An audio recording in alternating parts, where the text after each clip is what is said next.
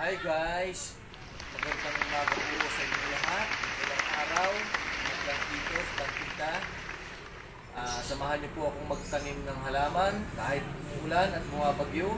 Siguraduhin lang po ninyong safe ating mga lugar para ligtas tayo. Okay?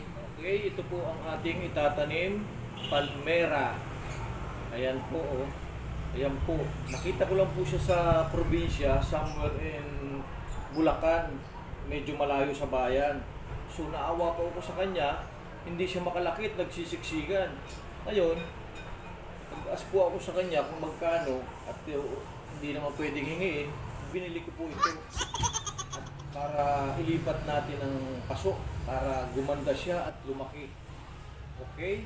Tatanim po natin siya. Pag-uri na po sa pagtatanim at paglilipat ng palmera. Guys, huwag niyo po itatapon yung mga tuyong dahon. Mapapakinabangan po natin siya. Pwede po natin siyang ilagay at ihalo sa lupa para sa halaman. Isa pa rin po siya sa pampataba ng lupa. Pag nabulok po siya, ngayon, kakat po natin siya ng medyo maliit naman para mas mabilis bumulok. Ayan. Ayan. So, nakatulog pa tayo sa environment na kalat. Makatulong pa tayo sa halaman para tumaba. Ayan po ang gagawin ninyo. Kaya huwag niyong basta-basta itatapon yung mga tuyong dahon. Huwag niyo isama sa basura. Punin-punin niya. Tapos kung magtatanim kayo ng halaman, gupitin niyo ng maliliit. Pwede pong ilagay sa lalim ng paso, lalagyan ng lupa. Ilagyan na po natin ng lupa.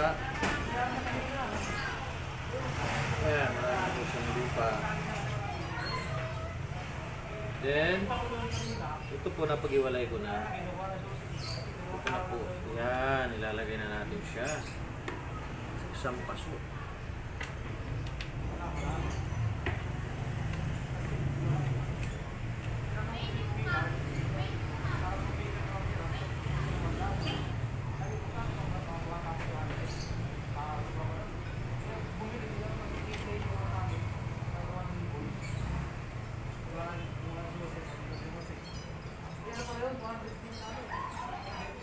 Maganda rin po ngayon magtanim kasi basa po yung lupa. Ito po, mixed soil na po itong ginagamit ko para mas maganda sa halaman. Ha?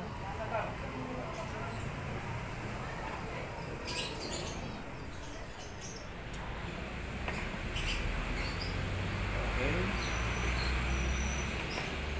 Na, mas marami siyang lupa muna. Maganda ang kanyang paglaki.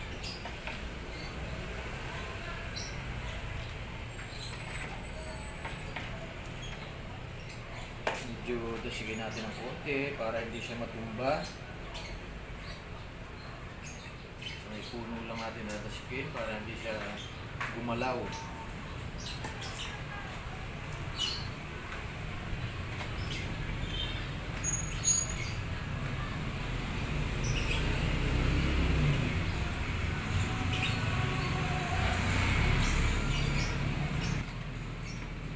Wow! Okay na po siya. Ang ganda na oh. Isa pa lang po yan ha. Oh, kita ninyo, ang ganda na oh. Ayan guys.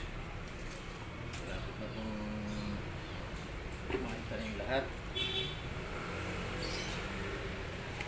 Alala ko lang po mga plantito, plantita sa lahat ng naghahalaman. Pag meron po kayong nakita at nagustuhan nyo, huwag niyo po basta-basta kukunin ng walang paalam dahil baka makasuhan kayo ng plant napping. Eh, eh, joke lang po yun.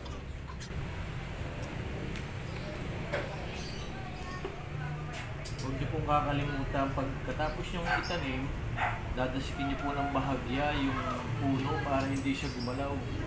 Kasi pag gumalaw siya, madaling mamatay yung halaman. Ibig sabihin, hindi, kuma, hindi masyadong kakapit yung gat.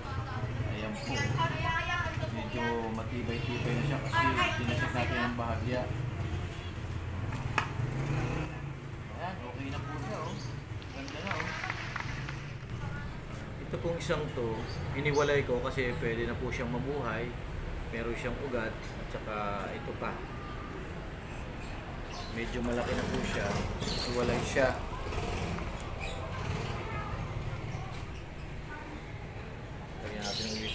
Mas maliit na basurahan siya. Pag malaki, pag lumaki na po siya, pwede na uli natin siyang ilipat sa panibagong paso. Ayan, oh.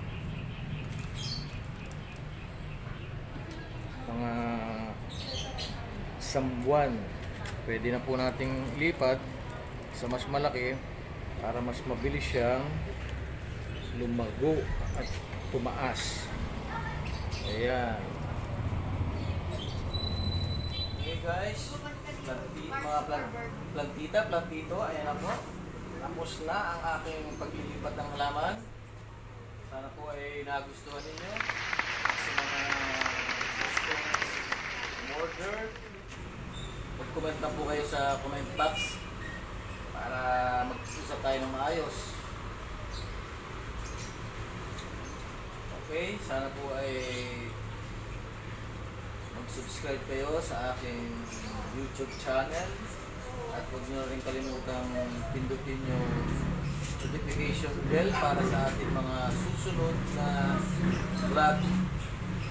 Maraming salamat po and God bless.